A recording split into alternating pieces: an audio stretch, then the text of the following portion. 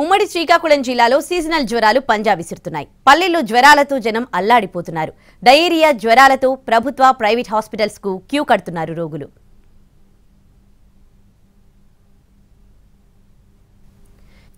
ఇక ఇదే అంశానికి సంబంధించి మరింత సమాచారం మా ప్రతినిధి విఎస్ నాయుడు అందిస్తారు.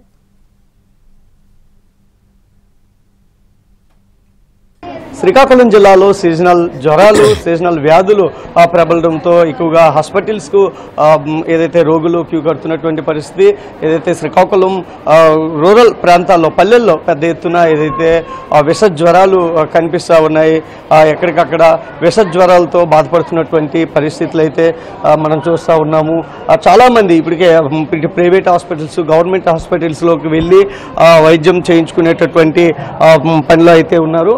ముఖ్యంగా ఏదైతే ఆ, చాలా మందికి ప్లేట్లెట్స్ కౌంట్స్ అనేది తగ్గిపోతున్నటువంటి పరిస్థితులు అయితే కనిపిస్తూ ఉన్నాయి. ఈ విష జ్వరాలతో ఆ, వారం పది రోజులుగా కూడా భయ ఏదైతే ట్రీట్మెంట్ పొందుతున్నటువంటి వ్యక్తులు కూడా ఉన్నారు. బాబు మీకు ఏమైంది? ఏ ఊరు ఏంటి? మాకు మాది పొందు తగ్గలేదు సార్. జ్వరము ప్లేట్లెట్ తగ్గింది బ్లడ్ తగ్గింది. అవన్నీ తగ్గినాయి అవన్నీ క్లియర్ అయినాయి కానీ బ్లడ్ లేదు ఇప్పుడు. బ్లడ్ ఎక్కించడం సార్. ఎలా ఎలా ఉంది? మీ ఊర్లో కూడా జ్వరాలు ఉన్నాయా?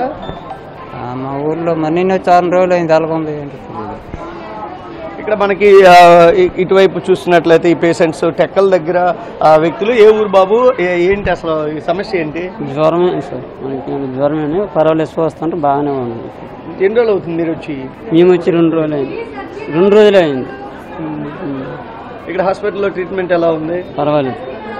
ఇక్కడ మనం చూసుకున్నట్లయితే ఇటు గవర్నమెంట్ హాస్పిటల్స్లో ట్రీట్మెంట్ అనేది కొనసాగుతున్నటువంటి పరిస్థితులు ఉన్నాయి మంచిగా ఇస్తున్నారని అయితే ఇటు పేషెంట్స్ చెప్తున్నప్పటికీ అయితే ఇటు రిమ్స్ కానీ జిల్లా కేంద్ర ఆసుపత్రి టెక్కలు కానీ పా పా- పాలకొండలో ఉన్నటువంటి ఏరియా హాస్పిటల్ కానీ ఏవి చూసినా కూడా జ్వర బాధితులతో కిటకిటలాడుతున్నటువంటి పరిస్థితులు మరికొన్ని చోట్ల ఏదైతే వర్షాకాలం వచ్చిన నేపథ్యంలో డయేరియా బాధితులు కూడా ఉన్నటువంటి పరిస్థితి మనం ఏదైతే రణస్థలం ఏరియాకు సంబంధించినటువంటి కొంతమందికి డయేరియా వచ్చింది. ఏంటి ఏంటి సమస్య? మీ గ్రామంలో ఎలాంటి పరిస్థితి ఉంది సార్ ఇప్పుడు ప్రజెంట్ అయితే మాదైతే మరపా గ్రామం.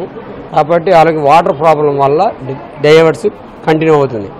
దీంతో సుమారు పదిహేను మంది చిల్లరగా డైలీగా వన్ నైన్ అంబులెన్స్ టైం ప్రతిసారి తిరుగుతుంది.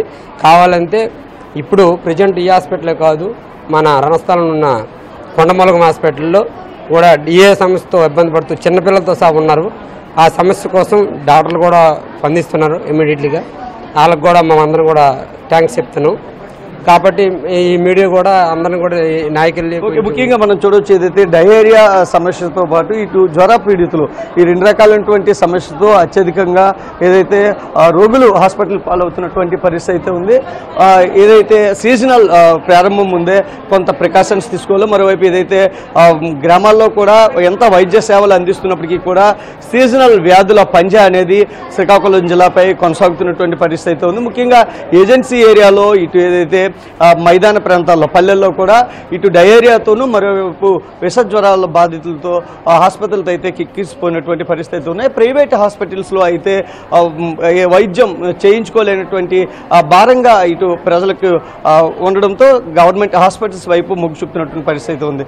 Camera person సురేష్తో V S Naidu NTV Srikakulam.